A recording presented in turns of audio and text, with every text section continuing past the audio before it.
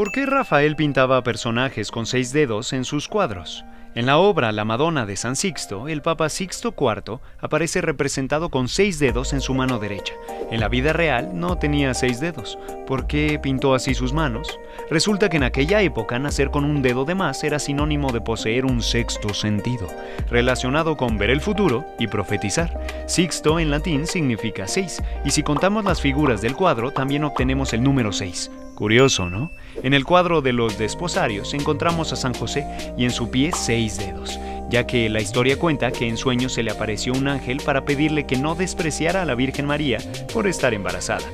Como vemos, Rafael sentía fascinación por aquellos personajes con una vida relacionada con la profecía. Por cierto, ¿sabías que Rafael nació en Viernes Santo y falleció en esa misma festividad? Murió justo el día que cumplió 37 años. Aprende esto y mucho más en Pangolín.